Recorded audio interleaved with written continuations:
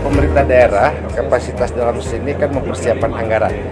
Jadi saya kira uh, anggaran kita sudah uh, berikan kepada KPU sekitar 101,9 miliar dan berikut BPJS Ketenagakerjaan untuk uh, panitia dan juga pelaksana. Nah, tentunya pemerintah daerah sudah berkomitmen dan membuat MOU, ya, kesepakatan dan sebagainya sehingga ini tinggal dijalankan.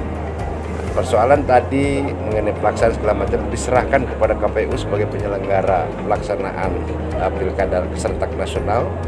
Dan tentunya pemerintah daerah selalu mengawal, mengawasi dan juga berkomunikasi bagaimana apabila ada sesuatu yang harus dibicarakan dan termasuk Forkopimda, Pak Kapolresta, Pak Dandim, semua stakeholder semua uh, bersepakat untuk menyepakati bahwa pelaksanaan pilkada nasional ini harus berjalan dengan lancar dan damai dan bisa menghasilkan uh, kepala daerah yang betul-betul berkualitas.